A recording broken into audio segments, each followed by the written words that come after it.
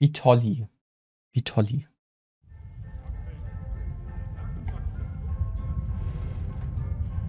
But even at home, you have to carry your weight. Oh. Hat er sich direkt hier gleich wie zu Hause gefühlt. Ja, wir werden ihm gleich helfen. Kurzen Moment. Äh, wir werden gleich lesen. Ähm, kein Problem, Bommel. Hallo, hallo, hallo. Herzlich willkommen im Chat. Ähm. Ist noch Besuch. Wer war denn da? Deine Schwester und Co., oder was? Äh, wir werden mal kurz lesen. Chat. Äh, und YouTube. So, U-Boot. Während der britischen, äh, während die britische Royal Navy weiter auf Schlachtschiffe von blablabla Typ setzte, entschied sich das deutsche Kaiser, die deutsche kaiserliche Marine für die U-Boot-Technologie. Obwohl sich die U-Boote anfangs als sehr wirkungsvoll erwiesen, U9 versankt, äh, äh, erwiesen, U9 versenkt in nur einer Stunde drei britische Kriegsschiffe, gelang es den Alliierten der blablabla äh, Seeführung, ähm, Seekriegsführung mit schnellen Schiffen und Änderungen in der Navigation an diese neue Technologie anzupassen. Also waren die nur am Anfang worth, die ganzen U-Boote. Mit dem uneingeschränkten U-Boot-Krieg ab 1917 verschärfte sich die Lage, was dazu führte, dass alleine in diesem Jahr mehr als 3000 Schiffe versankt wurden. Krass, durch U-Boote, gell? Krass. Mein Cousin, ja, uh, dann alles ganz entspannt, alles ganz entspannt. Genießt das Gameplay, genießt die Fortsetzung. Ich hoffe nicht, dass irgendwas laut ist. Ähm, ich lese hier gerade mal ein bisschen vor, weil im ersten Teil habe ich das ja am Anfang nicht so gemacht. Ähm, Truppentransporter auf de, Truppentransport auf dem Seeweg. Ende des 19. Jahrhunderts äh, verfügte die industrialisierte, äh, industrialisierende Nation über genügend Schiffskapazität, um Truppen schnell in oder aus Übersee überseeischen Gebieten zu verlagern. Als die USA Deutschland den Krieg erklärte, zögerten sie nicht, die in amerikanischen Hafen an ankehrenden deutschen Schiffe zu beschlagnahmen oder ankamenden, ankehrenden, heißt das wirklich so, ähm, beschlagnahmen und der US Navy zu übergeben. Über 2 Millionen, äh, Millionen US-Soldaten wurden über den Atlantik nach Frankreich verschifft. Manche von ihnen auf ehemals deutschen Schiffen. Einige der für den Truppentransport eingesetzten Schiffen wurden im Laufe des Krieges auch zu Lazarettschiffen umfunktioniert. Aha. Ähm, so, dann Tarnung. Im Laufe des Ersten Weltkrieges verbessert sich äh, durch, die, durch, das durch den technischen Fortschritt die möglich, äh, Möglichkeit, feindliche Schiffe zu ordnen, sowie die Zielgenauigkeit und die Reichweite der Schiffsartillerie. Tarnung und die Kunst der Täuschung erhielt folglich auch auf See eine immer größere Bedeutung. Schiffe wurden etwas mit wurden etwa mit äh, Zebrastreifen bemalt. Ohne Scheiß jetzt? Die wurden mit Zebrastreifen bemalt. Nein! Sch Kommandant! Ein schwimmendes Zebra! Das ist bestimmt kein Feind. äh, nein, das wusste ich tatsächlich nicht. Wodurch sie für feindliche U-Boote schwerer aufzuspüren und schlechter zu treffen waren. Da die Mannschaft die Distanz falsch eingeschätzt hat. Ach so, das ist ja krass. Das ist ja krass, das wusste ich gar nicht. Ähm, okay, dann kümmern wir uns jetzt mal. Ich glaube, wir müssen ein bisschen was machen. Wir müssen mit irgendwem quatschen. Okay. Hallo? Kann ich hier was? Kann ich auch mit dir quatschen? Okay. Mm, mm, mm, mm. Uh. Boah, aber das Spiel sieht einfach viel cleaner aus als letztes Mal. Aber wir sind jetzt schon in einem U-Boot. Okay, ich verstehe. Schraubenschlüssel. Juhu, es gibt hier nur zwei Teile. Wir brauchen ein Rohr. Wir müssen das... Okay. Okay, dann gehen wir mal suchen. Guck mal, da ist ein Haigebiss und ein... Alter, das ist doch eine Lüge. Dieser, dieser, dieser... Wie heißt der? Dieser... Wie heißen denn diese Fische? Diese komischen Fische aus der Tiefsee. Die konnten die noch gar nicht fischen. Versteht ihr? Da ist das Rohr.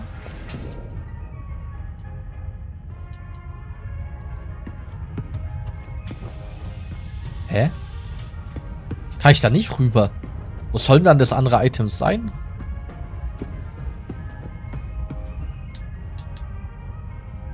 Megalodon vielleicht. ich glaube nicht, dass es ein Megalodon ist. Also das wäre ja ein kleiner Megalodon, oder? Das wäre dann ja, das wäre ja dann Megalodon Baby Baby.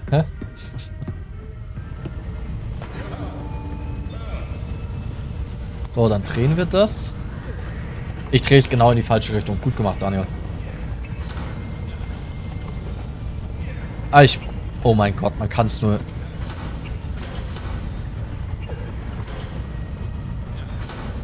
Hallo?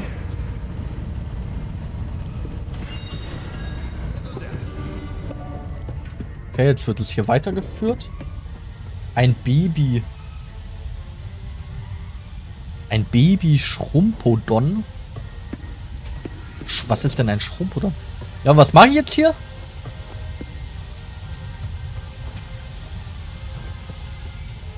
Hä? Kann doch hier nicht weiter. Hä? Ah, ich muss jetzt nach oben. Okay, ich verstehe. Warte, wir gehen erst hier durch. Ne, da muss ich hin.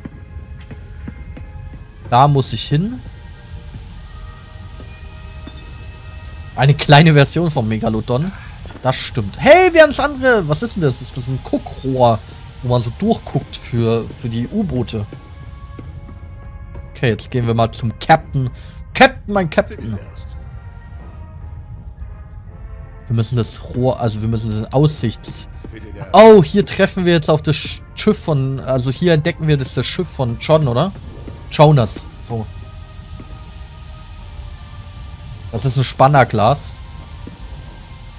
Ah. Ich hätte einfach X drücken müssen. Jetzt gucken wir mal durch unser Spannerglas. 1916. The US had remained neutral, allowing for business as usual. Despite trade blockades, the few merchant submersibles in existence, like the Germania, were still able to trade with them.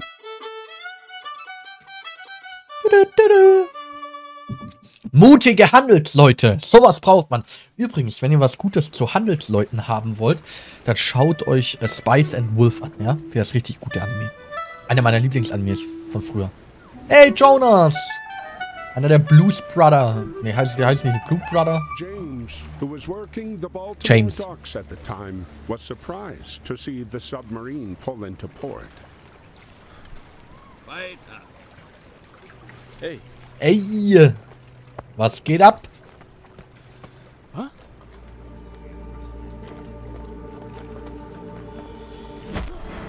Nein, seine Klarinette. Oh, ihr Assis. Scheiß Rassismus, Chat. Scheiß Rassismus. Hm. Wollen wir nicht erst seine Clarinette holen? Er braucht einen Schraubenzieher. Okay, okay, okay. Er hat unten einen Schraubenzieher. Okay. Gehen wir erstmal hier durch. Haha! Ein Piraten! Eine Pirati-Figur! Was?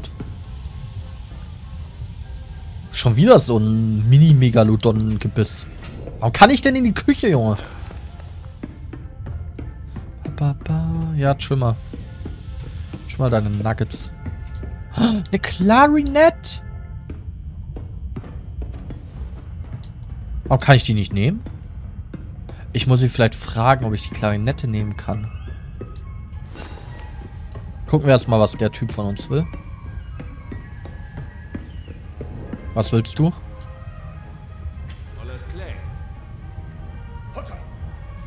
Ich soll eine Pfeife bringen. Okay. Die ist da.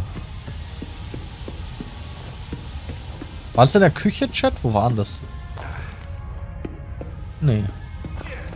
Gehen wir mal runter.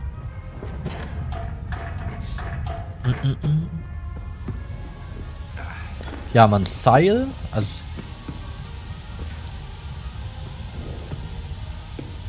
Wir müssen jetzt Rohr ausstellen. Okay, wartet mal.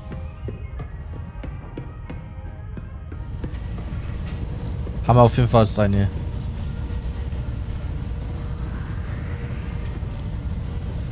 Wie stellen wir das denn hier aus?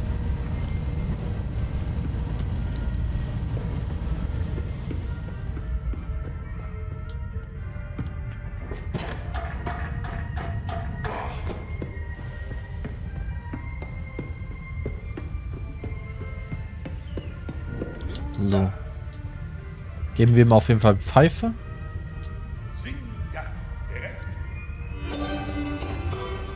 Okay, dann können wir ihm Schraubenzieher bringen, aber das will ich noch gar nicht. Ich will jetzt erst hier unten das mit dem Schwein lösen. Aber irgendwie sagt er noch nicht, dass er Schwein...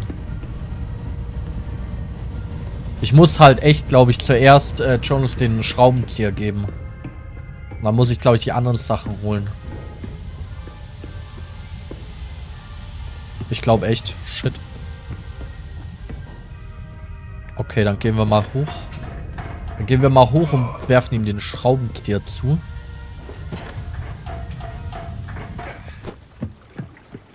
Ba, ba, ba.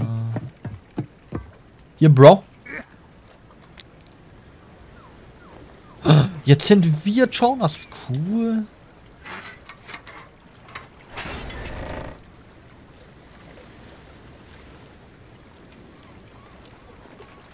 Scheiße, ich muss, glaube ich, wenn wir ihm jetzt den Schraubenschlüssel geben. Äh, die Rohrzange ist kein Schraubenschlüssel. Die Rohrzange, der Koch. Der Koch gibt uns die Rohrzange. Halt, warte, hier geht's runter.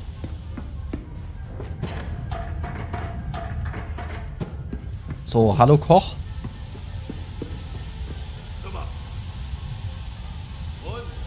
Okay, müssen wir erst sein Schwein befreien. Let's go. Let's go. Wir wissen auch genau, wie wir das machen. Und lass mich raten, du willst jetzt was?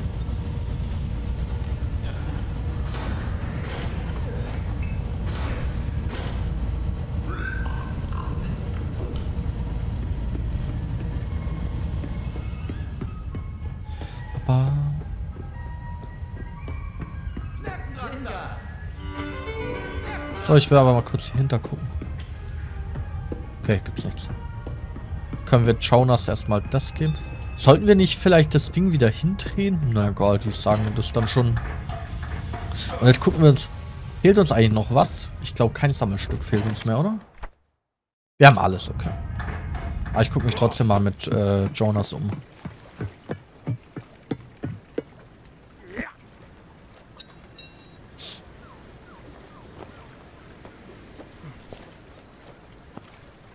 Warte mal, ich will mich hier um. Wir können uns nicht weiter umgucken. Okay, hat sich das geklärt? So.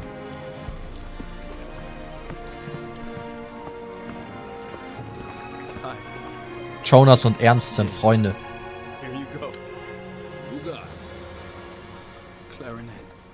Oh. Klarinette. Aus welchem Land kam jetzt Ernst? Kommt er aus Bulgarien? War es Bulgarien, Chat?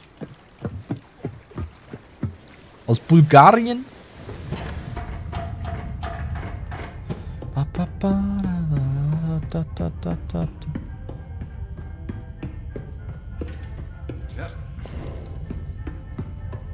Geben wir, schenken wir ihm eine Clarinet. Weiß gar nicht, wem die gehört, hä? Wir nehmen jetzt einfach von irgendwem eine Klarinette.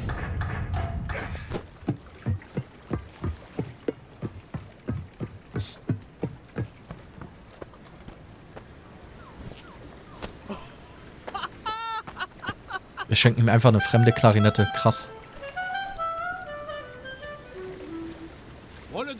Musiker.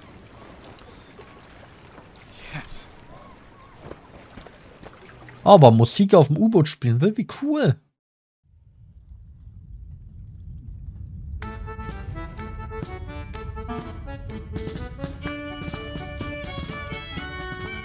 Du, du, du, mein Gott, ich bin so scheiße. Ba, ba, ba, du, du,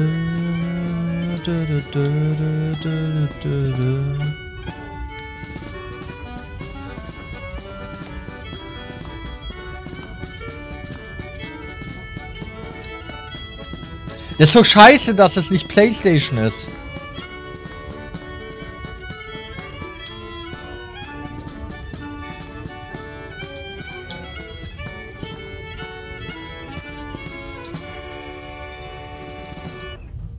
Ach scheiße, ich hab voll verkackt. Warum ist das nicht Playstation, Digga? Dear Freddy, I'm glad to hear you're doing good. I hope you won't be upset with me, what with the war and all, but I recently met a German, and we really had a lot in common. Das war doch keine Deutschlandflagge vorher. I'm proud to say he's become a friend. We promised each other that when this war is over, me and Ernst will play together. I intend to keep that promise. Your brother, James. Ja. Seht ihr, auf beiden Seiten gibt es Freunde von unterschiedlichen Nationen. Finde ich einfach toll. Finde ich sehr toll. The Germania's voyage was a commercial success, and her crew returned eager for their next trade. Mutig aber an die Leute, dass die trotz Krieg Handel getrieben haben, oder? But their triumphant return was interrupted by the German Imperial Navy.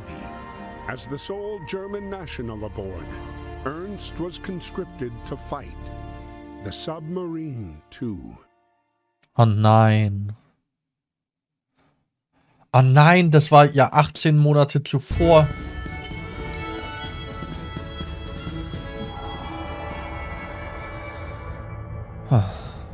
Die ganzen Besatzungen, die man kennengelernt hat, die ihn aufgezogen haben, die ihn, oder was heißt aufgezogen, die ihn wie Familie behandelt haben, alles sind weg.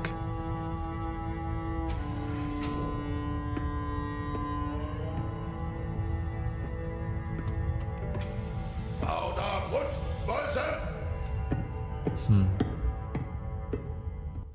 Alles wird vom Krieg zunichte gemacht, gell? Scheiße. Scheiße, scheiße, scheiße. Obwohl ich sagen muss, dass es jetzt schon echt lang geht und wir haben noch kein Kapitel abgeschlossen. Vielleicht ist es doch so lang wie der andere Teil.